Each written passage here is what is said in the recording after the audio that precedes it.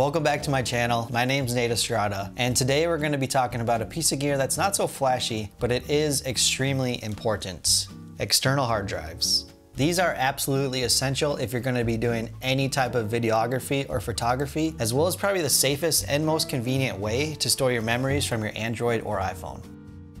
So an external hard drive is exactly that. A hard drive that is external from either your laptop or your computer. And it works by simply plugging them into the computer and dragging and dropping files onto that. It's very simple. They can look like this, they come in all types of sizes, shapes, prices, and capacity, and they are key to organization, faster workflow, and most importantly, saving and archiving all your projects, content, and memories.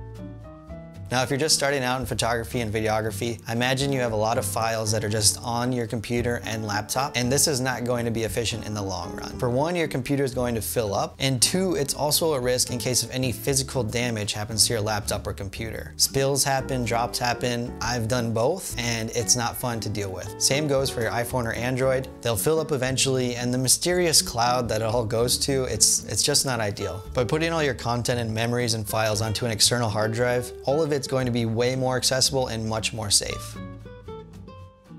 It can be very overwhelming to kind of choose which brand, which price, which capacity to choose from. There's a lot of good reviews out there, there's a lot of bad reviews out there. So my first suggestion would be either buy a 500 gigabyte or a one terabyte, which is a thousand gigabytes, from any brand that's in your price range.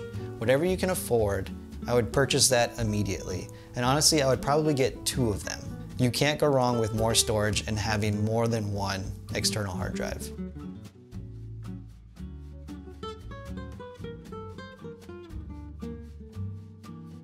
Let's say I just finished shooting a project and I'm offloading all my data onto this working drive right here. Now once I have everything in that working drive in a folder and organized, I put that folder onto my first backup drive. Now once I have those files onto here, I put it away into safekeeping while I continue to work on this drive. Now once I'm done with the project and it's totally finished, then I retake this drive out and I put my finished files onto here as well as the project files. And I make sure that whatever was done on this is exactly onto here. At that point, I have two hard drives with my finished product. So then after that, I put the finished folder onto another backup drive. So now it's currently on three backup drives. But since this is my working hard drive, I can delete it off of here. And these go into storage. So that's how I use hard drives and that's how I keep all my files safe because at any time I have everything on two hard drives. So in case something happened to this one, this one would be safe.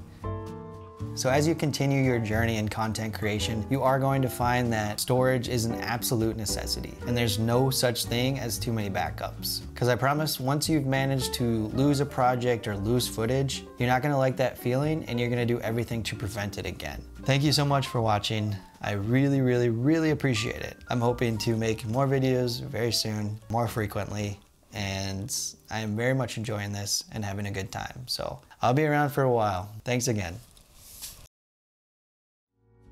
That's it. That's the end. Do it.